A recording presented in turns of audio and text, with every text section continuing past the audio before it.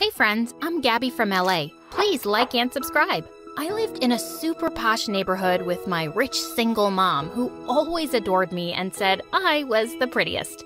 She even showed me off in front of all her friends. Look at her.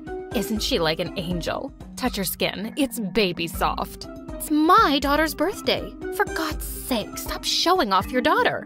But mom never listened to anyone. As I grew older, mom just grew protective of me. Gabby, why are you out in the sun? And get away from these dirty kids.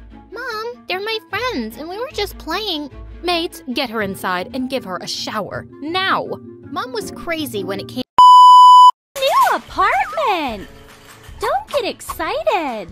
Look at this mess! This is clearly not my dream room! It's all We should get rid of the old furniture and hmm? repaint everything! Are you not going to hmm. help? I'd love to, but I can't! I have a great idea! We'll dry your tail! Oh no! Oh yes! The tail turned into legs, and I brought your favorite shoes! When it comes to renovations, you've gotta follow